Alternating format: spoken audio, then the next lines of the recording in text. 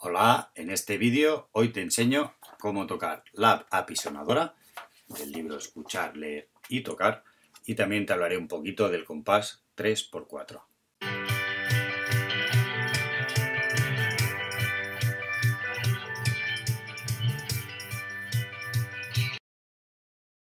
Hasta ahora hemos estado tocando eh, siempre en compás de 4-4, o sea, cuatro tiempos. 1, 2, 3, 4, siguiente compás, etcétera, etcétera.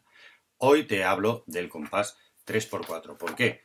Porque nos sale en la canción 3, la pisonadora. ¿Ves que tenemos el compás 3-4? Y también tenemos este nuevo ritmo, que es una blanca, que ya la conocemos, es como las anteriores, una blanca, pero con un puntito.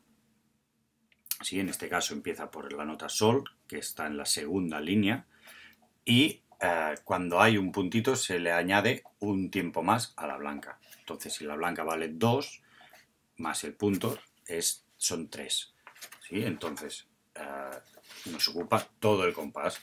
En esta canción verás que es eh, cada compás una nota de tres tiempos, porque es blanca con punto, sol, mi, sol, mi, re, sol, mi, mi. Y también verás un símbolo que no conocíamos, este de aquí.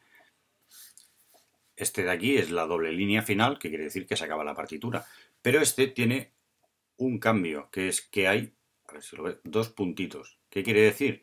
Que cuando llego al final, vuelvo a empezar la canción solo una vez, ¿eh? no, te estés todo el día repitiendo, no. Empiezo, llego al final, estos dos puntos me hacen rebotar y la toco otra vez hasta el final. El CD te marca el compás de 3-4 con toda la pulsación, o sea, vas a oír 1, 2, 3, 4, 5, 6 y empezamos a tocar aquí. ¿Te lo enseño? Ahora lo verás.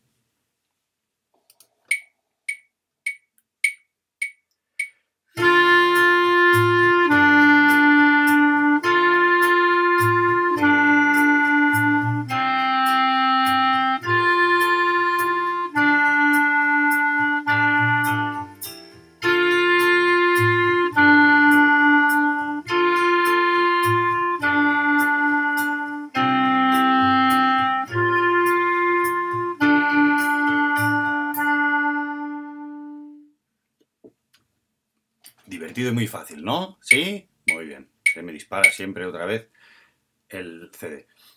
Ah, recuerda, es la apisonadora del libro Escuchar, Leer y Tocar. En la descripción te dejo un enlace para que puedas comprarlo y te llegue a casa y todo perfecto. Espero que te haya servido mucho ah, y seguiremos haciendo estos vídeos y seguiré haciendo estos vídeos siempre que, vea que hay interés. Entonces deja tu comentario si, tienes alguna pregunta, intentaré responderla y no olvides suscribirte y darle al botón de la alarma para recibir todas las notificaciones de los nuevos vídeos que vaya colgando. Jolín, hoy se me estraba la lengua. Hasta pronto.